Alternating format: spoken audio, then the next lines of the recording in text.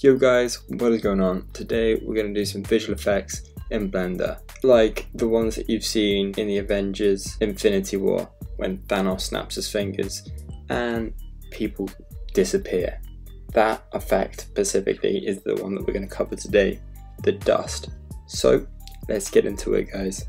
You can use anything you want in um, doing this tutorial. I'm going to use a hand and here the hand is. You could use a, um, a monkey, a cube, anything you want guys. This will work on anything. Once you've got your cube item in, is we're going to add in a subdivision surface. So go over to the properties and add in a subdivision surface. And obviously, alright, if I just take this right down, you can see how like grainy and bad quality it looks but we know that when we render it, it will look perfect. So for the sake of this, I'm just going to bring this right down, just so that we have more power with this computer to play with.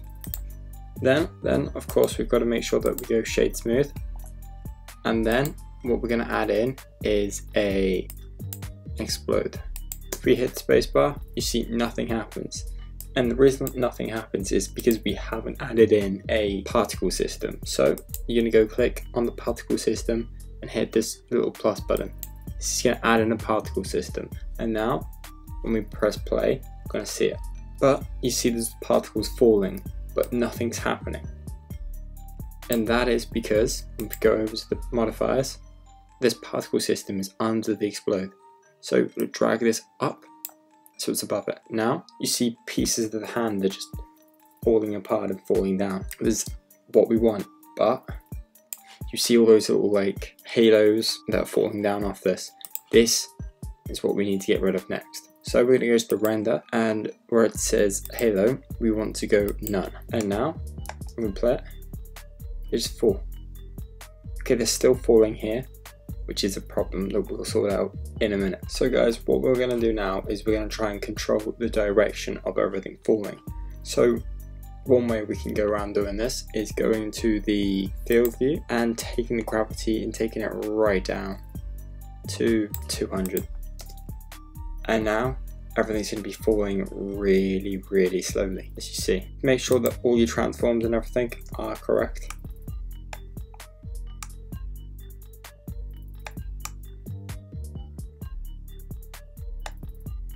As you see everything just falls. Doesn't really fall very far, but it still falls. So now what we can do guys is we can add in a wind. A wind. We can add in wind to um, blow these particles everywhere. As you see they're slowly falling now. If we add in wind, it's going to make this, obviously the wind's going to be able to control it and blow it. So get wind and go GZ and move this wind down. Also this is really really big so we're going to just scale it, scale it right down.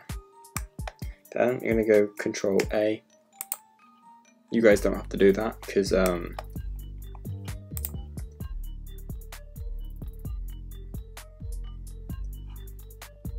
it's just because this was huge and I just wanted to put it small. Now we're going to move this wind and move it to a corner. Then what we want to do is we want to rotate it around about 45 degrees. Doesn't really matter. And we want to make sure that we can move this up so that, you know, we want the direction of particles to blow. As you see, nothing really happens, just blows it over to that corner.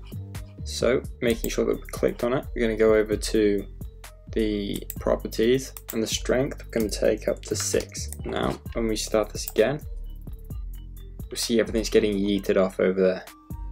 And you see it kind of gets dumped over here and it's getting like rebuilt in a way. It's just still getting stuck there. And the way we're going to get around that is we're going to click back on this hand or your object and we're going to go over to the and we're going to make sure that, sorry, the modifiers, we're going to make sure that we got the dead unticked. Now, you just see it goes up and disappears. Let's say you you're not happy with that, you want it to be in the frame for longer. You know, go over to the physics tab and the lifetime you're gonna increase to 100, oh, that's 10. 100. Now, you'll see it, it should be longer, which it has. It's great. Again, it's just, it's, you know, it's not like amazing. Like there's no turbulence or there's nothing really cool about that. So let's go add in a force field and let's add in a turbulence. And this turbulence, we're going to bring the, the strength up to 12. Now if we play it, everything kind of gets, you know, chucked around a bit more. There still isn't that many particles there. So click back on your hand or your object and we want to go to the particle system. And the number of particles we want to give it something silly like I don't know I'm just gonna try 50k and then I'm gonna see what happens. The next problem that we have is that when you look at this it's breaking up everywhere all at the same time. If that's kind of a, an effect that you want then this is great but I don't. So I'm gonna go over to where it says source in the uh, particle system. I'm change jittered to grid and then I'm take both of these on and then you're gonna see it's all breaking up in like set lines. Okay, right.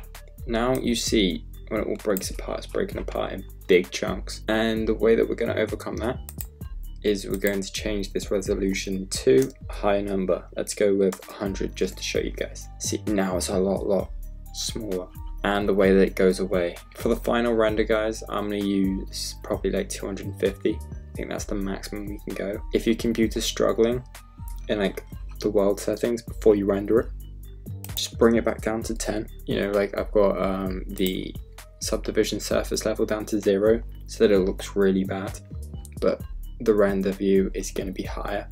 So just make sure when you go back to the particle system that you remember to increase this resolution. You can just add in a camera and then we're going to make it spin around the hand as it dissolves. So we've added in the camera and then we're going to go shift A, add in a curve and then we're going to go Bezier circle. Then I'm going to click back on this camera and go to the constraints and go follow path. Then you're going to hit on the target go Bezier circle and you're going to make sure that you click follow curve and X minus X. Then when you bring it around, you'll see that it actually follows, but for some reason the camera settings are messed up.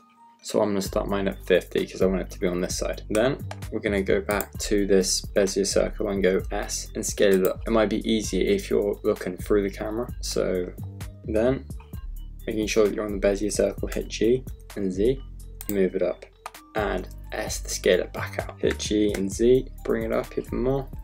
Go on the camera, go R, X, and bring it down. And maybe bring it up a little bit, and then maybe going back to the Bezier, hit G, Z, and bring it up.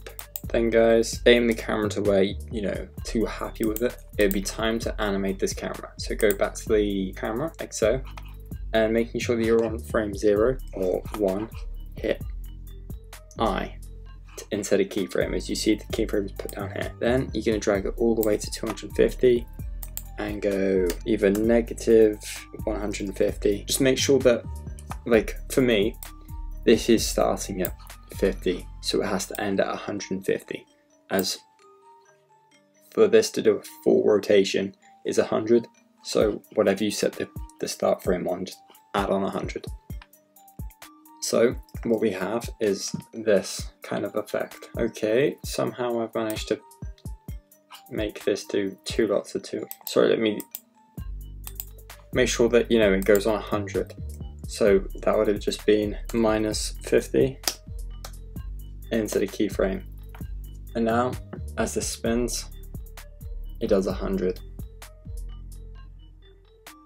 And obviously, when we turn up all the um, settings over here to make sure that the resolution's turned all the way up and everything, it's going to look a lot better. But guys, finally, remember to texture it and light it.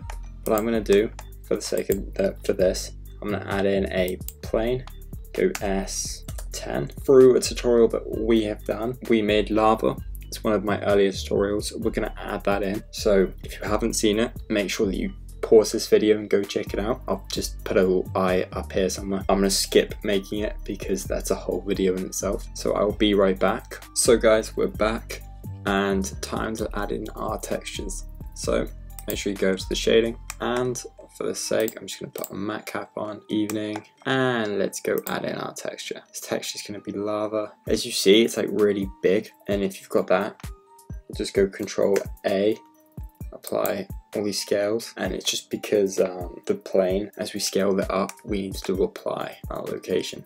Also, what you're going to want to do is you're going to want to make sure that you've got the um, ambient occlusion bloom is on and screen space refraction. What we're going to do is we're going to go view, and go to the view, camera, and we're going to texture this as well like so. What I'm going to do is I'm going to go add in a empty plane axis, go G, Z, and bring it up to round about there. I'm going to also scale this out just a little bit. Go G, Z, lift this up so we can see the particles as they fly away. But the reason why we added in this empty is that we're going to set the camera to um, focus in on this area to give it a bit more depth of field. So you're to open blades all the way up to 16 and we're going to give this a tracking target empty and then we're going to bring this down to probably 1.2 and quickly we're just going to click on this world and I'm going to take all the light out and go back to our world scene. And as you see, it's, it's quite a good distance there, I think. If you wanted to go ahead one more step